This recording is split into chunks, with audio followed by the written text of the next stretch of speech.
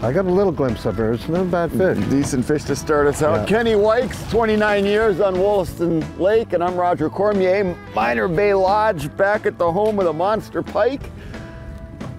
Not too many casts into the day here, and you taking me to, taking me south? Holy It's awesome, cow. bud.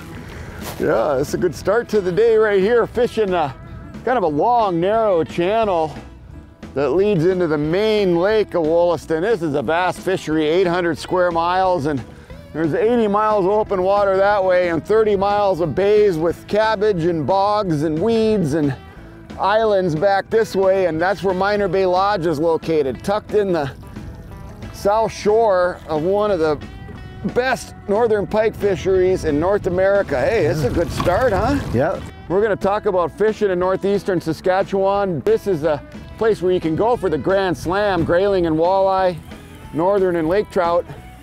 Oh yeah, that's a big girl. Look at this. Nice healthy fish. Oh, no look marks on her. Ate that spinner too.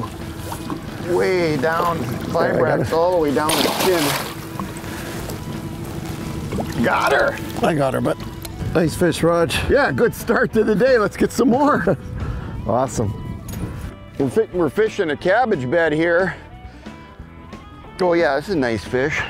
And there's a lot of different types of structure that you can fish. Oh, another big one following this one, and this is a 40 incher. Oh man, there's some monsters in these weeds. So if you come up in the early part of the year from ice out, you know, right through June, you'll be in these backwater bogs. You'll be throwing top water, soft plastics, little inline spinners. Sometimes the fish will be sluggish. They'll be wanting to warm up. Oh man. And then as you get in the later summer like we got now, these big cabbage beds will emerge. The fish will pull out of those muddy backwaters and they'll be out in these cabbage beds, nice oxygenated water with those weeds.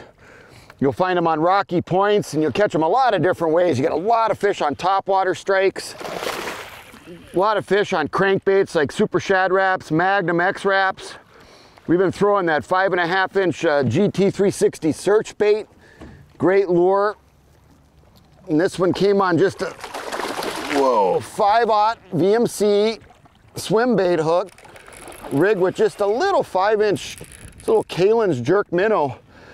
Really nice weedless presentation that you can twitch through the cabbage. And this is a, you know, pretty close to a 20 pound northern here. And we had one bigger than that following this guy. Pretty cool stuff. Nice, Kenny. Oh man, that's a monster. Oh, look at that thing. Yeah, Yeah, that's a nice fish. beauty. Yeah, the bigger one chasing this one. Yeah, can you imagine? I mean, that, look at that thing. Unreal. It's on one of my Avid musky rods, 40 pound, 832 braid. Decent fish. Ate a white bucktail, white vibrax number six, silver blade. Another day here at Minor Bay and you know, you can fish four day and eight day packages up here. Nice fish. Clobbered it. Yeah, just, just switched from a from kind of a yellowish red color. We've been throwing black and silver and having pretty good success up here this week. Got different conditions here this morning. A lot of glare on the water. Some pretty good rollers coming through this cabbage bed. First cast with the number six. This white with a little bit of red on that. Boom. Nice 40 incher. Beauty.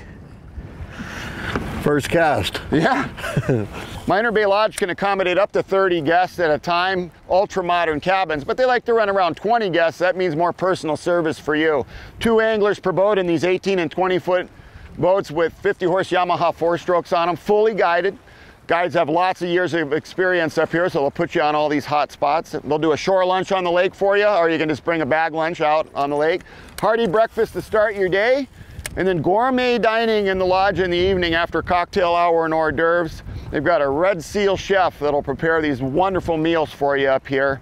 You're talking first class service, dining, and accommodations at Minor Bay Lodge. You can see in this cabbage, it's a bigger fish. I'm trying to keep that fish up and out of the cabbage. We switched to a black and silver Vibrax. This one's got a fluted blade on it, a little bigger blade. It runs a little bit higher in the water column over the weeds. Haven't got a look at this fish yet. But I also bring a bunch of my bass rods along, 7.1, 7.4, and 7-6. Bass X and Mojo bass rods. Man, this is a toad here. Hit the big heavy back on her, bud.